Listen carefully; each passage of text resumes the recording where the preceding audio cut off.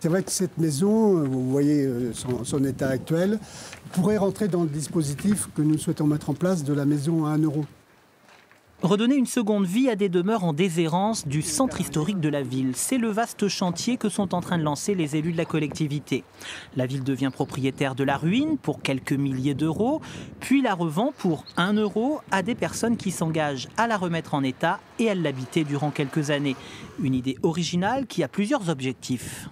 D'abord euh, dans la volonté euh, de retrouver des habitants pour le centre-ville. Donc euh, ça permettra, avec une maison relativement grande, de pouvoir y loger une famille. Mais aussi c'est pour valoriser ce centre-ville et améliorer son image.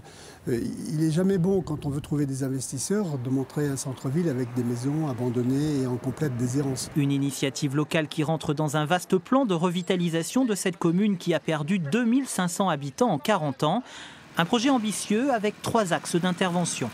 Le volet euh, aménagement des espaces publics, notamment ici dans cette rue, la rue du Château. Le volet commerce, notamment en partenariat avec les commerçants et l'association des commerçants.